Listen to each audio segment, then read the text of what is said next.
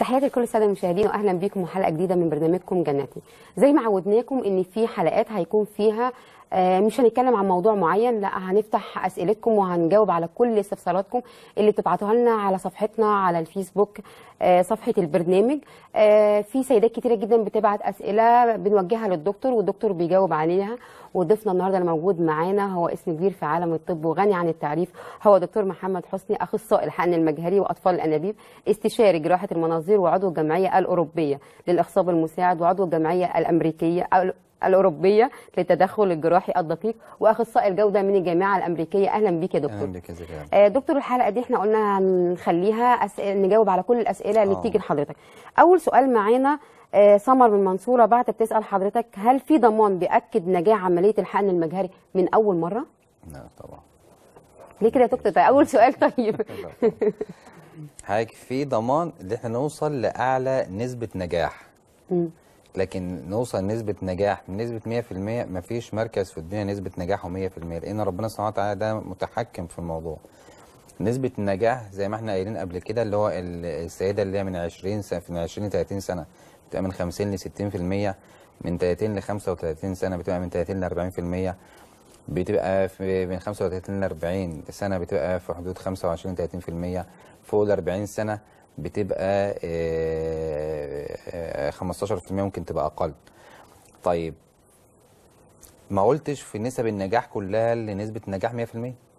حضرتك لما أقول من 50 ل 60% إحنا بنتكلم على الحالات الكويسة اللي ما فيش فيها مشكلة إن اجنتها كويسة وبطانه الرحم بتاعتها كويسة وزرعت في المك... في ال- في المكان المناسب في الرحم وخدت العلاج المناسب وعملت الفحوصات الكويسة اللي. الفحوصات اللي بتبين في مشاكل ولا لأ موجودة في الدم أو في أجسام مضادة أو أي حاجة من الحاجات دي يعني اللي ممكن تؤدي إلى فشل عملية الحقن المجاري وخدنا لها علاج خدنا العلاج وانتظمنا عليه وزرعنا أجنة كويسة في بطانة رحم كويسة في المكان المناسب في الرحم هي كده وصلنا لأعلى نسبة نجاح لكن مش 100% لسه ما وصلناش أو الطب لسه ما وصلش 100% لا حضرتك ال ال عملية الحقن المجاري بتبقى عبارة عن تكوين جنين.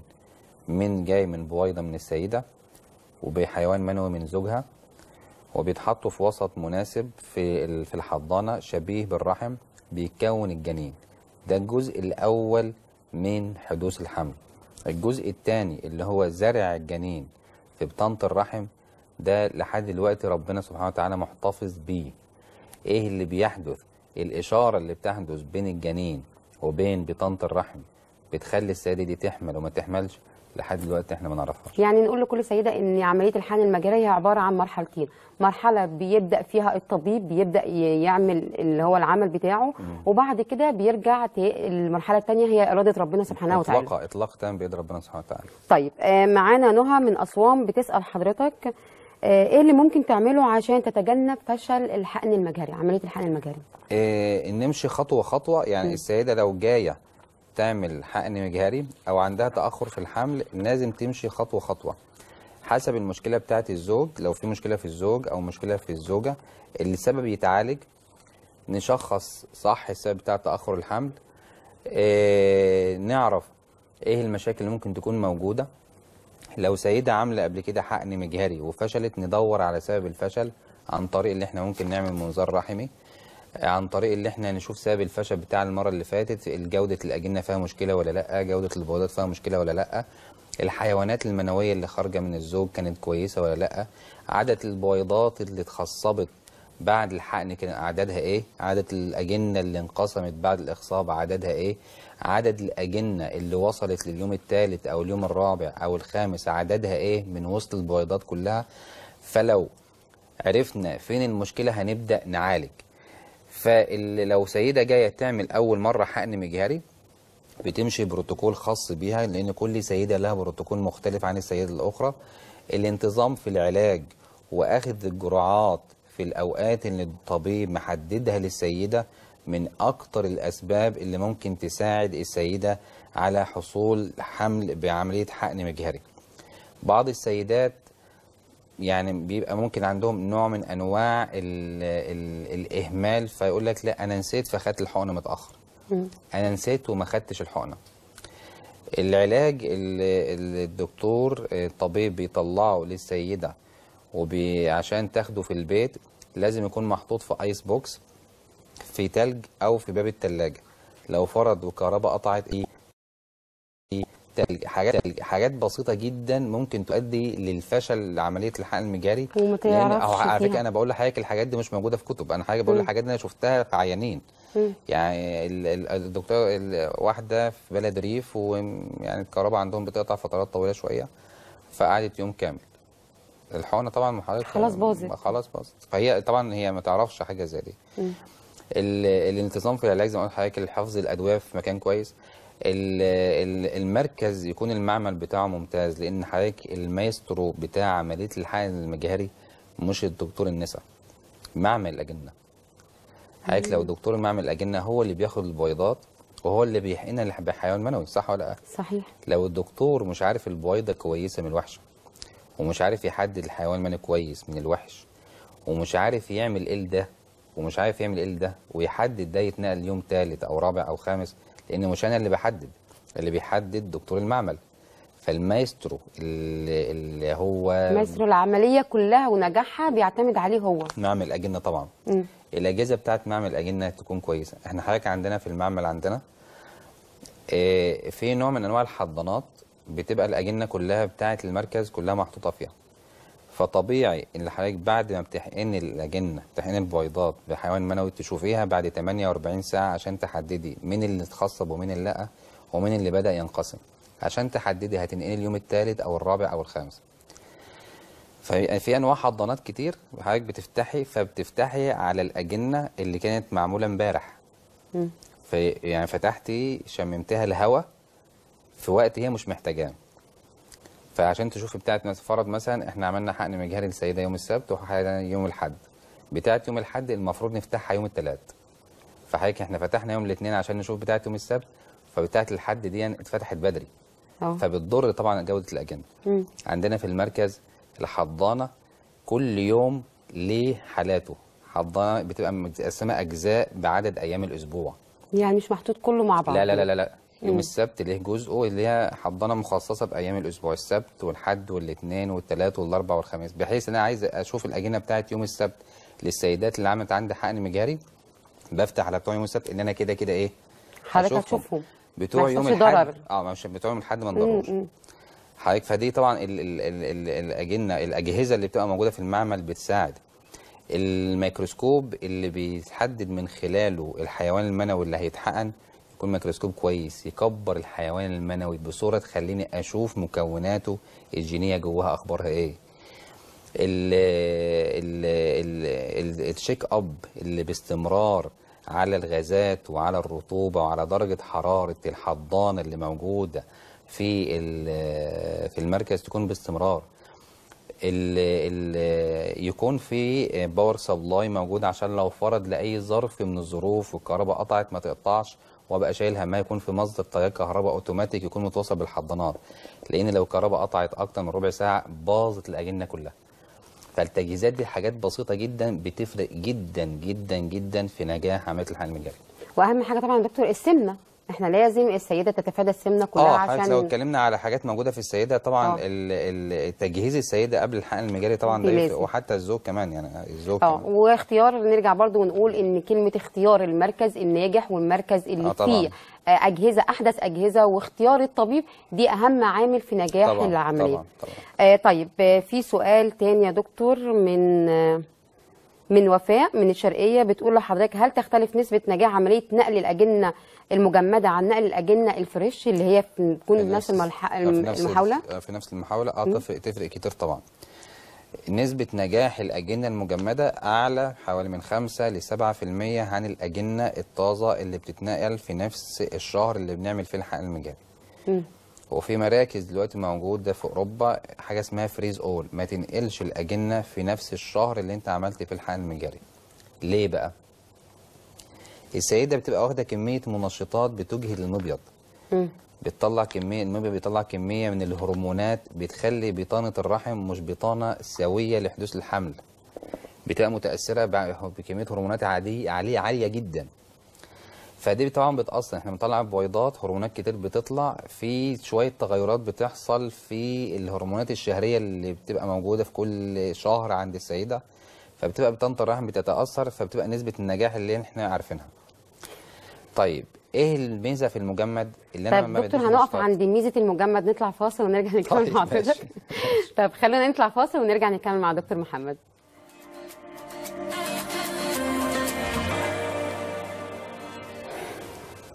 ورجعنا لكم ولسه مكملين مع دكتور محمد حسني وكنت قبل الفاصل يا دكتور آه، كلنا عارفين إن الحاجة الفريش أحسن من الحاجة المجمدة حضرتك بتقول لا ده الحاجة المجمدة أو الأجنة المجمدة ليها مميزات آه، إيه. مميزاتها آه، الأجنة المجمدة زي ما قلت حضرتك آه، قلت قبل الفاصل اللي فيه التغيرات الهرمونية اللي بتحصل بنتيجة الاستجابة للمنشطات بتأثر على جودة بطانة الرحم المستعدة لاستقبال الإيه؟ الجنين. طيب إيه الميزة بقى في ال- في الأجنة المجمدة؟ الأجنة المجمدة بننقلها على بطانة رحم مش مجهدة بمنشط. بتبقى متجهزة صح. أنا اللي بتحكم في الوقت بتاع نقل الجنين مش البويضات ونمو الأجنة اللي تتحكم فيه أنا يعني أنا بيجي عليا وقت أنقل مثلا عند اليوم الخامس وببقى عارف اليوم الخامس ده اليوم ال 20 أو 21 للدورة الشهرية اللي هي إحنا عاملين فيها الحقن المجاري وعارف نسبة نجاح هتبقى قليلة لأن كده سحبت في بطانه الرحم الوقت بتاع استقبال الجنين ممكن يكون قافل قبلها بيوم أو يومين. في الأجنة المجمدة لأ. الأجنة المجمدة أنا اللي بتحكم. أنا اللي بح... يعني بطانه الرحم ب... أنا اللي ب... ما, ب... ما يهمنيش البويضات طالعة ولا لأ. فبتحكم في إيه؟ في بطانه الرحم. حسيت ان هي رفيعة شوية بزود جرعة الهرمونات عشان تستجيب ليا بسهولة. ما بديش منشطات فنسبة النجاح بتبقى أكتر. النقطة اللي حضرتك اتكلمت فيها بقى أقول لك الفريش أحسن من آه المجمد. طبعا. لا هو في نقطة هو الأجنة اللي إحنا بنجمدها مش بنحطها في الفريزر بتاع التلاجة. لا خالص. إحنا بنحط عليها نيتروجين فبنوقف نشاط الجنين. وبنفكها في الفترة بتاعة تجميد الأجنة ما بتفرقش. يعني في حالة مسجلة 15 سنة أجنة مجمدة والسيدة نقلتها بعد 15 سنة وحملت وولدت. حالة في أوروبا. آه، ال ال الأجنة بتوقف نشاطها بالمواد اللي بتحط عليها اللي هو النيتروجين بتتحط بقى في ال container بتاعها باسم. باسم الزوج والزوجة والكود بتاع ال file بتاعهم. هننقل الأجنة مثلا في اليوم الفلاني بتطلع قبلها بساعتين وبتتفك. آه، طبعا في بعض الأجنة بتتأثر طبعا عشان كده بنحب نجمد أكتر من اتنين أو تلاتة عشان لو في واحد اتأثر الأجنة التانية ما تتأثرش وبننقل الأجنة. آه، أنا حضرتك عندي سيدة. من يعني من ضمن الحاجات عملت حقن مجاري كذا مرة مرة واثنين وثلاثه وكلها بتفشل بتفشل. يعني بتفشل حتى مش بيحصل حمل وبينزل ما بتحملش خالص. فعملت لها مرة فشلت كالعادة. كان لها مرة بقى المرة بتاعتي أنا بقى كان فيها أجنة مجمدة. أنا بحب أدي جرعات كبيرة من المنشطات عشان يبقى عندي مجال. يكون عندك كمية كبيرة؟ آه كمية من بيض- من بيضات كتير وبتبقى كمية من الأجنة كتير. ساعتها بيبقى عندي مجال للتجميد. فكان لها جنين متجمدين نقلت الاجنه المجمدة بعدها بثلاث شهور من الفشل الأولانية والحمد لله رزقت بطفل ولد في حملت ورزقت بطفل طب. وإيه أكتر وقت يا دكتور يعني ممكن سيدة تطلب من حضرتك إن أنت تجمد لها الاجنه أكتر من سنة أو اتنين آه آه مع- براحتها. عندنا الفكر ده موجود في يعني موجود في مصر إن أنا ممكن أجي لحضرتك وأقول إن أنا عايزة أجمد أنا مش عايزة أبقى حامل دلوقتي أنا ممكن أبقى عايزة حامل بعد سنة اتنين فممكن أطلب من حضرتك إن أنت تعمل لي تجميد للاجنه لمدة سنة أو اتنين؟ آه براحتها حسب رغبة السيدة يعني, يعني لو فرض مثلا فرض مثلا آم، السيدة هتجري جراحة مثلا في الحوض أو أي حاجة ممكن تأثر على المبيض أو شيء من الأشياء دي. وكانت الجراحة لازم تتم في أقرب فرصة. بنعمل عملية الحقن المجاري وبناخد ال- البويضات وبنعمل عملية الحقن المجاري العادية خالص. وبنجمد ال- الأجنة؟ الأجنة لوقت ما تكون هي مناسب ليها. سنة اتنين تلاتة أربعة عشرة هي ده شيء راجع لها هي. مش أنا اللي بقول للعينه تعالى ما انقل لك الأجنة بتاعتك.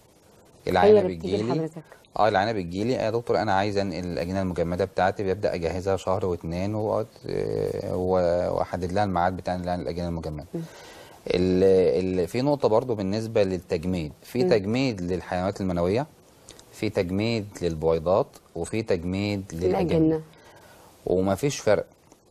يعني ما ح- يعني حضرتك ما فيش فروق تقول مثلا الطازة أفضل من ال من ال من ال من المجمد. هو بالترتيب أفضل تجميد هو تجميد الحملات المنوية. في النتائج بعد فك ال- التجميد ده. التجميد. يليه الأجنة يا آخر حاجة البويضات آه، بس يعني في كل حاجة لها احتياجها. بنوتة مثلا وعندها هتلجأ مثلا لجراحة في الحوض أو هتتعرض لعلاج إشعاعي مثلا عشان ورم موجود في الحوض فهيتعرض المبيض هيتعرض له فهيبدأ المخزون بتاعه يقل فاحنا عايزين نحافظ عليها. بن في طريقتين اللي إحنا بندي آه، بناخد بنخش بالمنظار وناخد جزء جزء من المبيض من خلال المبيض وبنحطها بنجمدها. وبعد فترة معينة بنحطها في مكان معين في الحوض بعد كام سنة بعد ما تشفى تماما.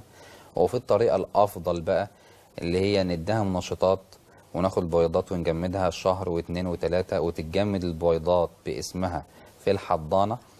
وبعد ما تتجوز بعد كده إن شاء الله لو في مشكلة في المبيض بتاخد من المخزون من بتاعها. المخزون بتاعها. طيب في سؤال تاني جاي لنا من من رشا في الجيزة.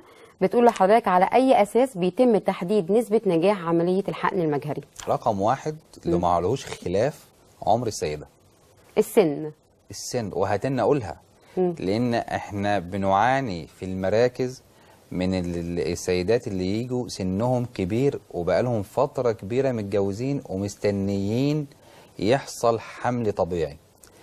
طبعا ربنا سبحانه وتعالى لا يعجزه شيء في الأرض ولا في السماء. إحنا ما بنقدرش ما نقولش الواحده إن إحنا هنتدخل وهنعمل لك. هو ربنا سبحانه وتعالى إرادته نافذة علينا.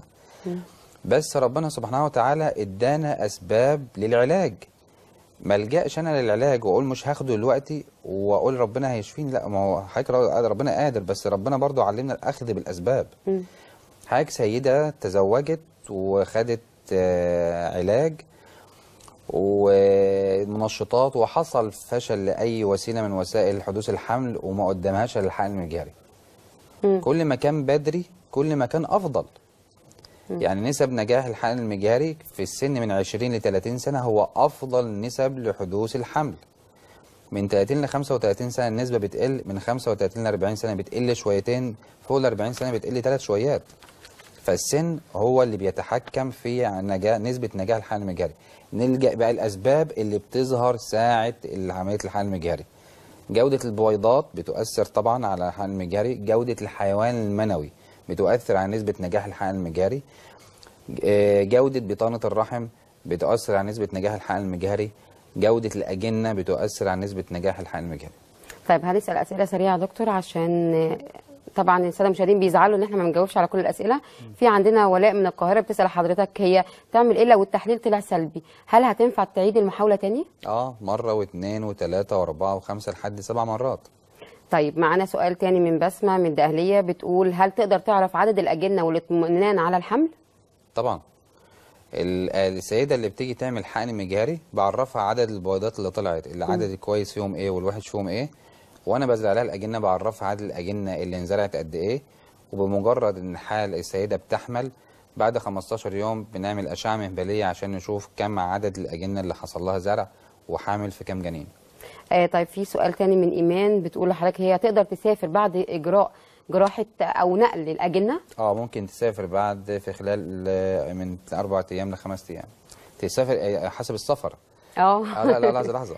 لو بتكلم على السفر بره مصر يعني مثلا سيدة جاية لي من بره مثلا وعايزة تعمل وترجع تاني آه ده في خلال ثلاث أيام أربع أيام. لكن السيدة اللي عملت الحقن المجاري وهتبقى المواصلات داخليه جوه مصر آه.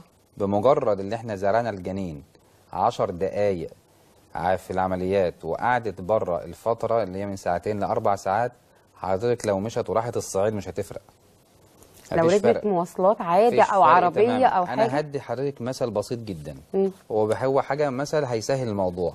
حضرتك لو جبتي بونبوناية وحطها في بقك وقفلت بقك عادي من غير ما تقفلي بقك جامد وهزيت دماغك كذا هزة كده البونبوناية دي هتقع من بقك؟ لا طبعا. بس. إحنا الرحم مش هننضفه يقع اللي جواه. مفيش كلام من ده خالص. غير إن حضرتك إحنا بندي علاج ساعة زرع الجنين بيخلي الرحم يثبت في الجنين ساعة نقل الأجنة. وعلاج قبل الأجنة بكام يوم وبعد الأجنة بكام يوم فحضرتك مش المشوار هو اللي هيأثر. تماما تماما تماما. جاي في فيديو جاي بس قبل الحلقة ما تخلص لسيدة عشان بس حضرتك الفرق بين المصريين والبره مصر سيدة جايبينها عاملة حقن مجاري ومعاها الطفل بتاعها. فجايبينها مصورينها ساعة سحب البويضات وساعة آه، زرع الأجنة وساعة معرفة اللي هي حامل. يوم زرع الأجنة صوروها وهي خارجة من المستشفى وراكبة العربية بتاعتها وهي اللي سايقة ومروحة. مش حد سايق لها ولا هي نايمة مثلا بقى لا. ولا الكلام ده كله؟ خالص. عادي جدا. خالص. خالص. كل الموضوع بس في شوية احتياطات أثناء السفر تكون وسيلة سفر مريحة بس. آه طيب آه سريعا يا دكتور لازم تنتظر السيدة أسبوعين لعمل اختبار الحمل بعد عملية أي المجاري نتيجة قبل 14 يوم لا يعتد بيها سواء إيجابية أو سلبية. يعني بعد لازم- 14 يوم بتبدأ 14 تعمل ال... لازم. أي نتيجة هتتعمل قبل 14 يوم سواء إيجابية أو سلبية لا يعتد بها تماما. طيب. في نهاية حلقتنا أنا بشكرك يا دكتور آه، محمد. إنت مستعجلة. بشكر الدكتور محمد حسني أخصائي الحقن المجاري وأطفال الأنابيب استشاري جراحة المناظير وعضو الجمعية الأوروبية للإخصاب المساعد وعضو الجمعية الأوروبية للتدخل الجراحي الدقيق وأخصائي الجودة من الجامعة الأمريكية. شكرا ليك يا دكتور. وبعتذر طبعا لكل السادة المشاهدين اللي هم بعتوا لنا على صفحتنا وما قدرناش نجاوب على كل أسئلتكم بس صدقوني إحنا بنختار يعني كل مرة هنختار كل مجموعة أسئلة وكده وحاولوا تبعتوا لنا تاني وإن شاء الله هنقدر نجاوب على كل أسئلتكم وانتظرونا في برنامجكم جنتي.